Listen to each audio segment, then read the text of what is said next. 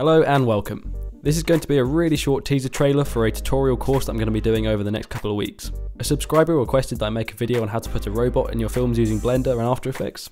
Originally I planned on making this just in one short video and then when I started recording it I realised how long it's going to take to explain everything and I realised there was no way this would fit in one video. So I decided instead to break them down into 5 videos, one video for each topic, and starting next Monday I'm going to be releasing one every day for 5 days. What you see here will be the finished result of the 5 videos, and each video is going to go into a specific technique to make this animation. First video is going to focus on loading your model into Blender, and then doing things to prepare it for animation like separating all the different parts, as well as building a skeleton system from the armature tools in Blender which will allow you to control the mesh.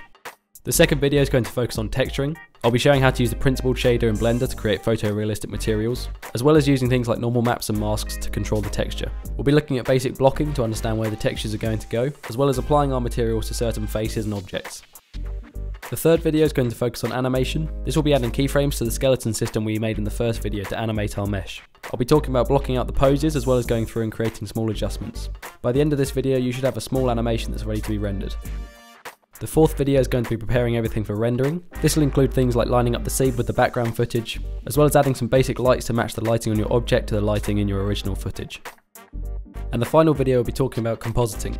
We're going to be doing this in After Effects and look at combining the beauty render and the shadow, as well as breaking down some of the channels like the diffuse and the glossy and then editing them to put them back on top of our footage for a better result. This series will be aimed at beginners, but if you've never opened Blender before then it's probably not for you.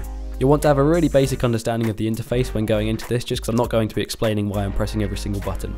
Apart from that, I hope it's really useful for people that are looking into getting into Blender properly. Keep your eyes open for the videos in a week's time and I hope you enjoy them.